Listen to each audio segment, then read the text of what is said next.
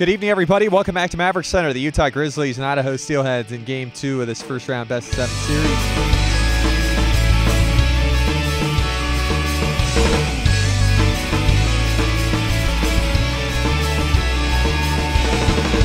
Patrick Weller is mapped. Brett Robinson, TJ Steiner. Steelheads cross it again. Shot blocked. Rebound comes off the stick of DeCastroza. Paquette works it off the wall. And Danick coming back the other way. Crosses in. Right wing circle. He. Oh, Danick coming back the other way. Crosses in. Right wing circle. He scores. That's a huge goal for. Wow. What a goal. It- it- I'm telling you, that's what Danick Paquette's all about. 25. The Fans throw their fish onto the ice to get it out. Krushelnitsky, left wing goal, slap shot. Paquette has it blocked. Danick gets the puck back. Scores! Krushelnitsky, left wing goal, slap shot. Paquette has it blocked. Danick gets the puck back. Scores! Asa Robinson crosses the line, left wing circle, Grizzlies back shot, save, and it sticks up.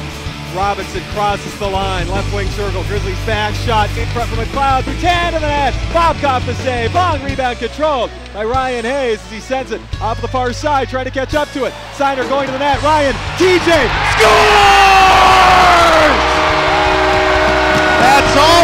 At 7 p.m. right here on 1320 KFAN as the guys come out to get Igor Bobkov, who stopped 28 of 30 a night after tense, hard-working minutes of hockey. Welcome to the post.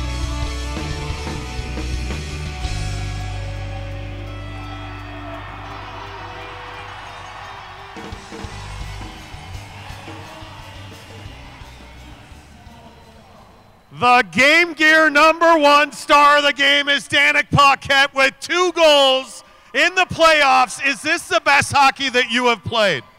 Well, this year it is. Uh, I think uh, I didn't play much this year, so uh, I have to bring a lot to my team uh, in playoff. Talk about the intensity tonight. You guys, uh, you, I think you did a really good job of skating away from some stuff, staying out of the penalty box. How difficult is it to do that?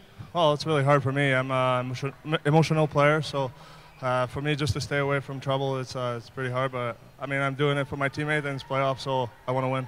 Well, I won't ask another question because fans, you got to salute this guy. Two goals tonight and a 3 2 win. Danick Paquette, your number one star of the game.